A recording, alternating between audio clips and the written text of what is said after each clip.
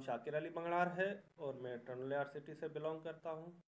मैं अपने बारे में और अपने काम के बारे में कुछ बताना चाहूँगा। मेरी तालीम टनलियार सिटी से ही है, मैंने ग्रेजुएशन की हुई है और पेशे से मैं फ़ाइन आर्टिस्ट हूँ।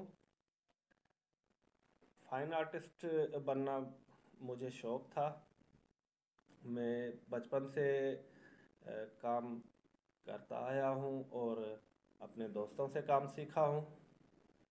और प्रोफेशनल लाइफ में मैं जो काम किया है वो पाँच छः साल हो गए। वैसे काम का तजुर्बा मेरा दस साल का है।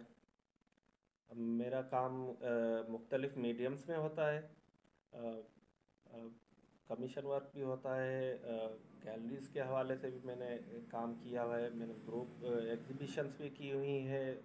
तीस से पैंतीस और मैं अपने काम के बारे में ये कहना चाहूँगा कि मेरा काम किस तरीके का है। प्रोफेशनल लाइफ में जो मेरा काम है, जो गैलरीज में जाता है, जो शोज़ होते हैं, वो काम मेरा दो चीज़ों पे होता है।